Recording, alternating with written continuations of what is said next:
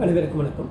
நான் Santhanam chartered accountant இப்போ நம்ம பார்க்க போகிறது என்னன்னு வச்சுக்கோங்களேன். பட்ஜெட் டூ தௌசண்ட் டுவெண்ட்டி த்ரீல நமக்கு சேலரி பர்சனுக்கு என்னென்ன டேக்ஸ் பெனிஃபிட் கொடுத்துருக்காங்க அப்படிங்கிறது தான் இப்போ நம்ம பார்க்க போகிறோம் இதில் பார்த்தீங்க அப்படின்னு வச்சுக்கோங்களேன் ஏழு லட்சம் ரூபாய் வரைக்கும் அதாவது உங்களுடைய டேக்ஸபிள் இன்கம் ஏழு லட்சம் ரூபாய் வரைக்கும் அதுக்குள்ளே இருந்தது அப்படின்னா அவங்க வருமான வரி கட்ட தேவையில்லை அப்படிங்கிறது தான் இப்போது பட்ஜெட்டில் புதுசாக கொண்டு வந்த அமெண்ட்மெண்ட்டு இதில் வந்து இது இதில் வந்து நிறைய பேருக்கு கன்ஃபியூஷன் வந்துடுது ஸோ அதை பற்றி தான் இப்போ நம்ம டீட்டெயிலாக பார்க்க போகிறோம் ஸோ இப்போ இப்போ பார்த்தீங்கன்னு வச்சுக்கோங்களேன் இந்த ஏழு லட்சம் ரூபாய் வரைக்கும் இன்கம் டேக்ஸ் நமக்கு கட்ட தேவையில்லை. சரி ஒருவேளை ஏழு லட்ச ரூபாய்க்கு மேலே போயிடுச்சுன்னா என்ன பண்ணுறது அப்படிங்கிறது பார்த்தோம்னு சொல்லலாம் அதாவது உதாரணத்துக்கு ஒருத்தருக்கு ஒருத்தருக்கு கரெக்டாக ஏழு லட்ச ரூபா தான் இன்கம் வருது. இன்னொருத்தருக்கு பார்த்தீங்க அப்படின்னா ஏழு லட்ச ரூபாய்க்கு ஏழு லட்ச ரூபா பத்து ரூபா ஏழு லட்சத்து பத்து ரூபா. அதாவது ஏழு லட்ச ரூபாயோட ஒரு ரூபா தாண்டி போகுது அப்படிங்கிறதுனே வச்சுப்போம். அதாவது பிங்கிற பர்சனுக்கு ஏங்கிற பர்சனுக்கு கரெக்டாக ஏழு லட்ச ரூபா தான் அந்த சேலரி இன்கம் வருது. இப்போ யார் டேக்ஸ் கட்டணும்? யார் வந்து டேக்ஸ் கட்ட தேவையில்லை அப்படின்னு பார்த்தீங்கன்னு வச்சுக்கோங்களேன். கரெக்டாக ஏழு லட்ச ரூபா இருக்கு அவர் வந்து டேக்ஸ் கட்ட தேவையில்லை. ஸோ ஒருத்தருடைய இன்கம் ஏழு லட்ச ரூபாயோ அல்லது அதுக்கு மேலே அதிகமானவோ அவங்க என் என்டையர் இன்கத்துக்கும் வருமான வரி கட்டி தான் ஆகணும். சரி இதில் என்ன சேஞ்சஸ் அப்படின்னு பார்த்தீங்கன்னு வச்சுக்கோங்களேன். இதுக்கு நம்ம வந்து லாஸ்ட் இயர் பட்ஜெட்டுக்கும் இந்த பட்ஜெட்டுக்கும் நம்ம கம்பேர் பண்ணி பார்த்தா தெரியும். அதாவது முப்பத்தி ஒன்று மூணு ரெண்டு ரெண்டாயிரத்தி இருபத்தி மூணு இருக்குது பார்த்தீங்களா? இருபத்தி ரெண்டு இருபத்தி மூணு முடிய உள்ள ஆண்டுக்கும் இப்போ வரப்போகிற இருபத்தி மூணு இருபத்தி நாலு அந்த வருஷத்துக்கும் என்ன வித்தியாசம் அப்படிங்கிறது பார்த்தோம் அப்படின்னு வச்சுக்கோங்களேன். பழசில் என்ன இருந்தது அப்படின்னா பழைய வரி விதிப்பு முறையிலும் சரி புதிய வரி விதிப்பு முறையில் நீங்கள் அடாப்ட் பண்ணாலும் சரி அப்போ என்ன பண்ணாங்க அப்படின்னா இந்த வருமான வரி தள்ளுபடி கொடுத்துருந்தாங்க. எவ்வளோது அப்படின்னா ரெண்டுத்துக்கும் ரெண்டு வரிவிப்பு முறையும் அஞ்சு லட்ச ரூபா வரைக்கும் கொடுத்துருந்தாங்க.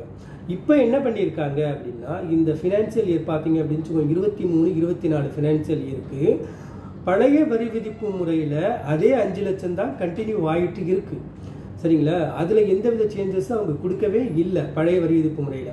இப்போ புதிய வரி விதிப்பு முறை பார்த்தீங்கன்னு வச்சுக்கோங்களேன் அதுக்கு மட்டும்தான் என்ன பண்ணியிருக்காங்கன்னா இந்த அஞ்சு லட்ச ரூபா இருக்குது பார்த்தீங்கல்ல அதை வந்து ஏழு லட்ச ரூபாயா இன்க்ரீஸ் வந்து பண்ணியிருக்காங்க இப்போ உங்களுடைய இன்கம் வந்து ஏழு லட்ச ரூபாயோ அல்லதுக்குள்ளேயோ இருந்து இந்த எல்லா இன்கத்துக்கும் நீங்கள் வருமான வரி தள்ளுபடி பெறணும் அப்படின்னா நீங்கள் புதிய புதிய வரி விதிப்பு முறையை தான் நீங்கள் அடாப்ட் பண்ணி ஆகணும்.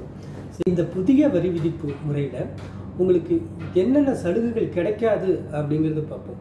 அதாவது பழைய வரி விதிப்பு முறையை நீங்கள் தேர்ந்தெடுத்தால் என்னென்ன சலுகைகள் கிடைக்குமோ அதில் அதெல்லாம் இந்த புதிய வரி விதிப்பு முறையில் கிடைக்காது. என்னென்னது கிடைக்காது அப்படின்னு வச்சுக்கோங்களேன். உங்களுக்கு ஃபஸ்ட்டு என்ன பண்ணுவீங்க அப்படின்னா ஸ்டாண்டர்ட் டிடக்ஷன் பழைய வரி விதிப்பு முறையில் உண்டு. ஐம்பதாயிரம் கிளைம் பண்ணியிருப்பீங்க ப்ரொஃபஷனல் டேக்ஸ் ரெண்டாயிரத்தி ஐநூறுரூவா கிளைம் பண்ணலாம். அது நீங்கள் இந்த புதிய புதிய வரி விதிப்பு முறையை தேர்ந்தெடுத்தீங்கன்னா அது உங்களுக்கு கிடைக்காது.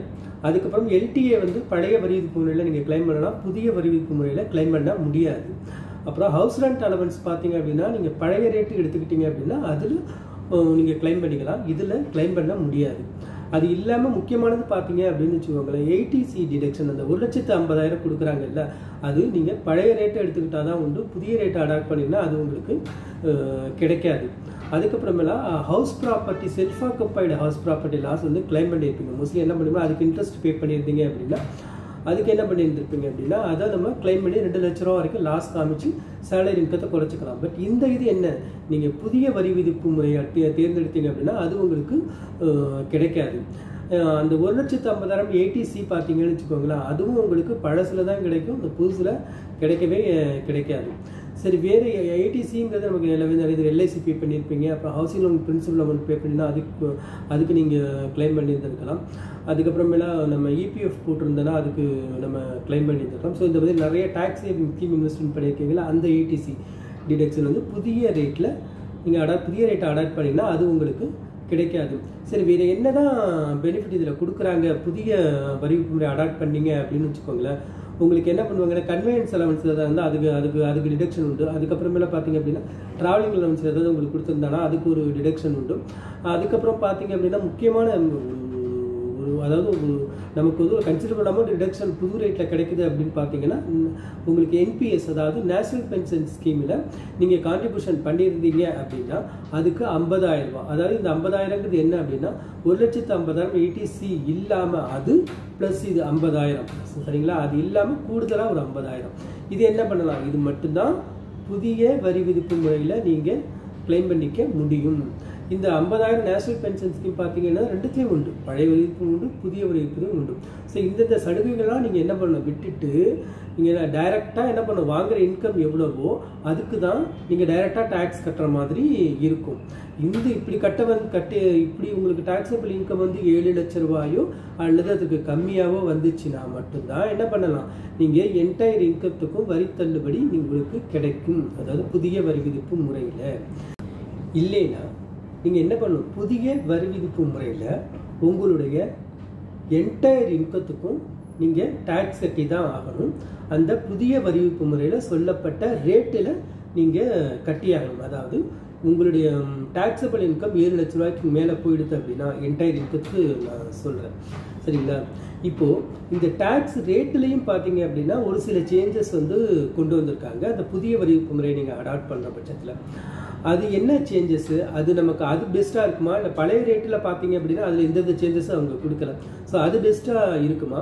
ஸோ எந்தெந்த சூழ்நிலையில் நம்ம ஓல்டு ரேட் வந்து பெஸ்ட்டாக இருக்கும்? இல்லை நியூ ரேட்டு பெஸ்ட்டாக இருக்கும்? அதுக்கு எந்த மாதிரி டேக்ஸ் பிளானிங் பண்ணுறது அப்படிங்கிறது நம்ம என்ன பண்ணோம் அடுத்த ஒரு வீடியோவில் டீட்டெயிலாக பார்ப்போம். ஸோ இந்த வீடியோ வந்து உங்களுக்கு பிடிச்சிருந்தது அப்படின்னா சப்ஸ்கிரைப் பண்ணுங்கள் உங்கள் ஃப்ரெண்ட்ஸுக்கு யூஸ் ஆகும் அப்படின்னு சொன்னால் மறக்காமல் ஷேர் பண்ணுங்கள் இது வரைக்கும் பொறுமையாக இந்த வீடியோ பார்த்ததுக்கு நன்றி.